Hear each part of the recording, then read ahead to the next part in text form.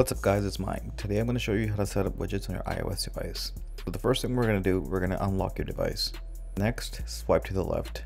So the next thing we're going to do, we're going to press edit. And now what we have are the different options available for you to choose from. For this example, I'm going to select the battery widget. After you've selected it, press done. Alright, so what's going to happen is every time you go to your widget screen by swiping left, it's going to display the battery information. On my iPhone X, it shows the percentage of battery that I have remaining.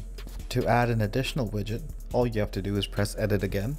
And for this example, we're going to select the weather widget and the tips widget and your favorites for your iPhone. So when you press done and you go back, it'll show you all the different information available from the widgets you've selected. Alright, you guys are doing awesome. So the next thing I'm going to show you is how to arrange your widgets. So we're going to go back into our edit and now we're going to see is those three lines on the right side. I'm just going to move my calendar widget to the top. So all you have to do for that is press and hold those three lines and just simply drag and drop. Once you're satisfied, just press the done button.